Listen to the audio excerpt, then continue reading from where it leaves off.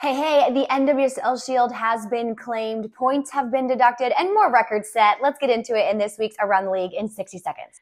No surprise here at the top of the table, it's still unbeaten Orlando Pride, claiming their first ever NWSL Shield. Congratulations, Seb Hines, and the entire organization. Right behind them, it's Washington, unfortunately bit by the injury bug. Latest news Andi Sullivan out with a torn ACL.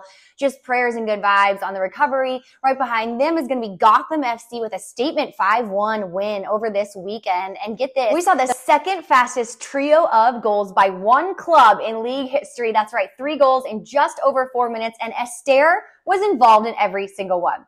Sitting in for confidently, Kansas City went down to Louisville, took care of business, came home with the points, and Temwa Chawinga scored another goal. So that means she is currently tied for most goals in a single season with 18. And guess what, y'all? She's got a couple more games, so you're going to want to keep an eye. We might have a new record holder. Congratulations are in order for North Carolina as they have officially clinched their spot in the playoffs, also extending their home unbeaten streak to 20 matches. Next up, we're going to see Chicago, Portland, and Bay FC all fighting to claim those last three spots in the playoffs. And out of the playoff picture at this point, but certainly not to be counted out, is going to be Racing Louisville and San Diego trying to get back in that top eight. Next, we see Angel City. After a salary cap investigation, not only were they fined $200,000, but they were also deducted three points, leaving them in 11th place. And at the bottom of the table, we see Utah, Seattle, and Houston, with Houston being the first team to be mathematically excluded from the playoffs this year.